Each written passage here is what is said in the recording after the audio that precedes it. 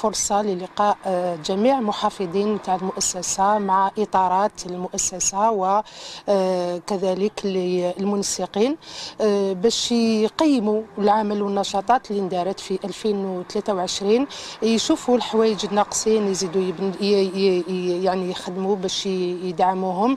راح تكون حلول لمشاكل واقعية في الميدان وكل ولاية عندها ال- الاختصاص ديالها وعندها السبيسيفيسيتي ديالها إن شاء الله. الهدف الأسمى الهدف الأسمى باختصار من هذا الملتقى هو هو جمع آه، المحافظين الولائيين لمؤسسة الخير وتكثيف الجهود وكما نقولوا إحنا آه، تجسيد الديمقراطية التشاركية مع مؤسسات الدولة وخاصة في ال- في المشاريع إن شاء الله المستقبلية اللي كما كنت نقول من قبل في إطار المقاولات الاجتماعية وكيفية إنشاء المشاريع للمحافظات الولائية. قدمنا اليوم من مختلف ولايات الوطن من أجل هذا اللقاء الوطني آه، لمؤسسة ناس الخير من أجل آه، التكاتف والعمل المشترك للقيام بالاستمرارية في الأعمال الخيرية مع اختلاف كل الثقافات واختلاف ال- ال- التقاليد. وهذا شرف كبير لآية المقرني باش